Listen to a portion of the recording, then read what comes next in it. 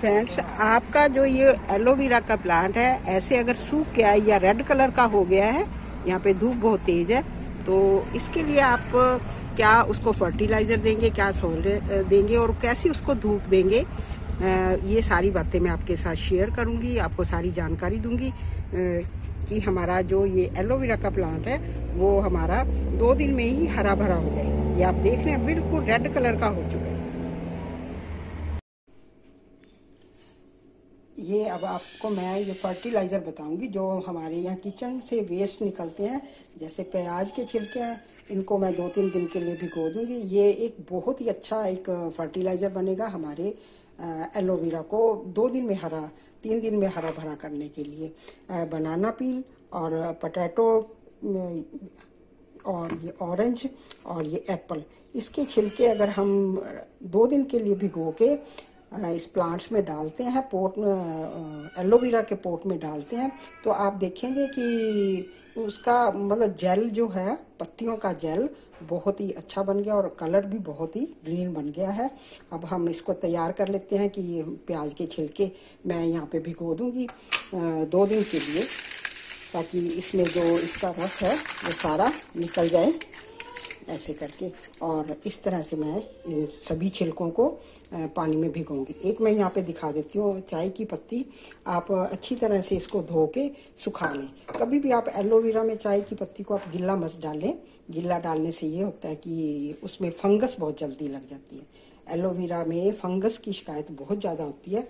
उसके लिए भी मैं आपको बताऊँगी कि हम अपनी सॉइल में क्या चीज़ डालें ताकि एलोवेरा के प्लांट को पोट में अगर हम खेत में लगाते हैं या हम किचन गार्डन में लगाते हैं, तब तो फंगस की शिकायत बहुत कम होती है बट जब हम पोट में लगाते हैं तो फंगस की शिकायत बहुत ज़्यादा होती है। उसके लिए मैं बताऊँगी कि आप क्या चीज़ यूज़ करें ताकि हमारे एलोवेरा के प्लांट को फंगस ना लगे और वो बहुत ही जल्दी हरा भरा हो जाए।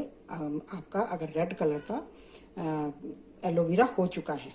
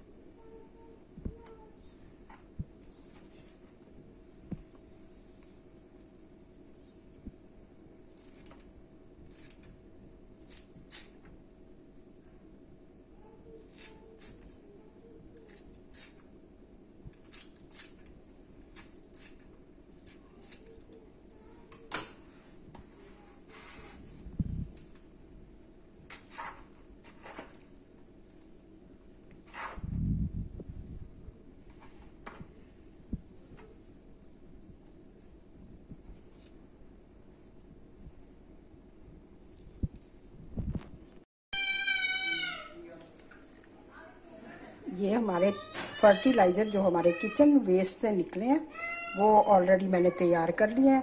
ये हम अब एलोवेरा के पोट में डालेंगे। और फिर आप देखना कि इसका रिज़ल्ट बहुत ही अच्छा निकलता है। आपने देखा होगा, बिल्कुल वेस्ट चीज़ें हैं ये। तो आप इस तरह से आप तैयार कर लें और चाय की पत्ती को आप ज़रूर सुखा लें। सुखाने के बाद ही हम इसको सॉयल में डालेंगे। आप वीडियो को एंड तक देखें। और मेरी वीडियो पे आप लाइक ज़रूर कर दिया करें और कमेंट बॉक्स में जाके आप कमेंट ज़रूर करें, जैसा भी आपका मन बनता है अच्छा या बुरा।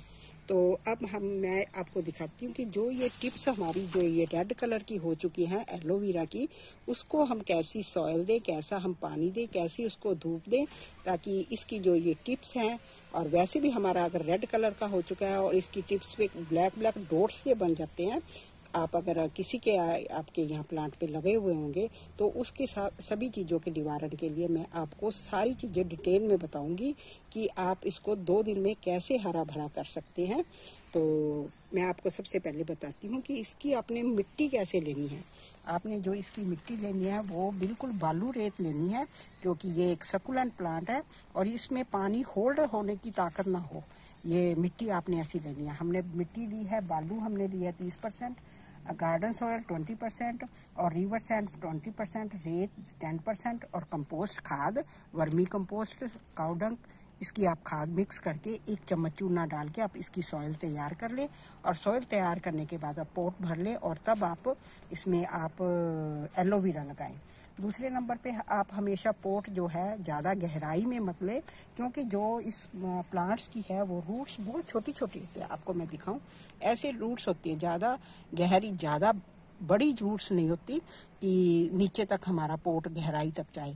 इसको आप अगर आप टप में यूज़ करते हैं, टप आप यूज़ करते हैं तो उसमें ये ज़्यादा अच्छी ग्रोथ देता है और हमारे खेत की तरह इसमें इतने बेबी पॉप्स बन जाते हैं कि हमारे पास बहुत सारे एलोवेरा के प्लांट्स इकट्ठे हो जाएँगे। क्योंकि ये अपनी ग्रोथ दो या तीन दिन में ही बना लेता है बेबी पप्स बनाने के। तो उस पर आप क्या करें, जब आप टप में इसको ग्रो करते हैं तो आप ये करें कि उसकी जड़ के इसकी रूट्स के आसपास आप चार चार इंच की मिट्टी लगा दें ताकि मिट्टी लगा दें ताकि हमारा जो ये एलोवेरा का प्लांट है वो बेबी जल्दी बनाए। जो रूट्स मिलेंगी उसको पानी मिलेगा धूप मिलेगी तब वो बेबी जल्दी बनाएगा। दूसरे नंबर पे इसको पानी। पानी हमने कैसा देना है? पानी जो मैंने ये फर्टिलाइज़र तैयार किया है वो हम देंगे। इसको मैंने पानी ऑलरेडी डिल्यूट कर लिया था। इसकी रेशो मैंने एक लीटर में सौ ग्राम के हिसाब से रख ली थी सभी छिलकों की। तो उसको आप पानी इस तरह से दें। आप ऊपर से कभी मत पानी दें। इसको एलोवेरा के प्लांट्स को कभी भी ऊपर से पानी मत दें। हमेशा नीचे से आप पानी दें ताकि जो इसकी लीव्स हैं, वो जो जेल से भरी हुई होती हैं, वो हमारे पानी से गल ना जाए।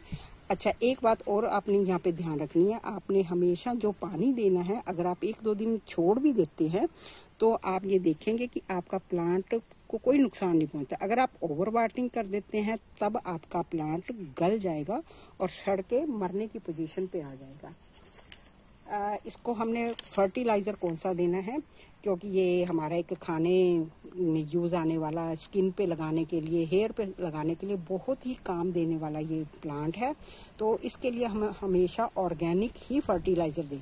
मैंने आज तक इसको कभी केमिकल फर्टिलाइज़र नहीं दिया। मैं आप, आपको अपने फ़ील्ड का अगर एलोवेरा दिखाऊँगी वो बहुत बड़ी बड़ी जल से भरी हुई पत्ती हैं।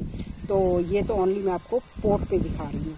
तो इसमें हमने फर्टिलाइज़र लिया है जैसे आलू केले और सेब, संतरा, जो भी छिलके हैं, उनका हमने फर्टिलाइज़र ऑर्गेनिक फर्टिलाइज़र तैयार कर लिया है। उसकी हमने रेशो ऐसे रख लिया है। इसको आप इस तरह से यूज़ करें। इसका मैंने एलोवेरा का पाउडर भी बनाया हुआ है और भी मैंने बहुत सी चीज़ें बनाई हैं। एलोवेरा पे ऑलरेडी मेरी वीडियो डली भी हुई है। अब मैंने इसका तेल बनाया है। उसके भी बहुत से अच्छे बेनिफिट निकले हैं। आप वो यूज़ करें। आप मेरे को, मेरे कमेंट बॉक्स में बताएँ कि मैं कौन सी वीडियो बनाऊँ। और उसके बेनिफिट्स भी मैं आपको दिखाऊँ तो आप ज़रूर इसके बारे में बताएँ। दूसरे नंबर पे आपने सबसे लास्ट बात ये रखनी है कि जब भी आप अपना पानी दे देते हैं फर्टिलाइज़र डाल देते हैं इसको प्लांट्स को तो आपने क्या करना है कि इसको हमेशा पार्शल एरिया में रखना है। ज़्यादा कड़कती धूप में नहीं रखना। अगर आपकी मॉर्निंग में धूप आती है तो ओनली दो घंटे की धूप इसको सफिशेंट है। दूसरा ये है कि आप इसको हमेशा पार्शल एरिया में रखें। पार्शल का मतलब ये है कि आप वृक्षों की छाया के नीचे इसको रखें। तो जब हमने इसको ऑर्गेनिक फर्टिलाइज़र दे दिया, अच्छी खाद दे दी, अच्छी खुराक इसको मिल गई तो ये आपका प्लांट दो दिन में इतना अच्छा हरा भरा हो जाएगा, आपको बहुत अच्छा रिज़ल्ट देगा।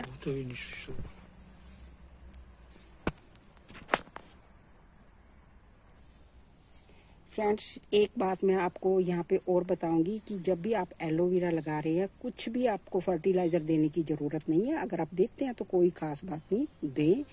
पर मैं आपको एक अपनी तरफ़ से एक सलाह दूँगी कि आप अपने एलोवेरा के प्लांट्स में जो हमने सीखा है अपने घरों में कि आप इसको वुड ऐश ज़रूर दें। वुड ऐश इसको पोटाश देता है। पोटाश से क्या होता है कि हमारी जो ये लीव्स हैं, वो जल से भर जाती हैं। इसलिए आप सप्ताह में, महीने में जब भी आपको टाइम लगे, आप एक चम्मच के हिसाब से अपने पोर्ट में, अपने गार्डन में आप वुड ऐश ज़रूर दें। वुड ऐश देने के बाद आप ये वाला फर्टिलाइज़र पानी दें ऑर्गेनिक पानी दें। तो आप देखेंगे कि आपका एलोवेरा कभी भी ख़त्म नहीं होगा। आप जैसे मर्ज़ी यूज़ कर लें। तो मेरी वीडियो आपको कैसी लगी, आप ज़रूर लाइक व शेयर करें और मेरे चैनल को सब्सक्राइब करें और फिर मैं किसी और टॉपिक के साथ आपके समक्ष आऊँगी। उसके लिए थैंक्स